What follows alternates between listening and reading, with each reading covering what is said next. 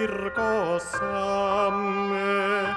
Muista luojan luomistöitä, ihmeellisen hienoja. Alttaarilta viestin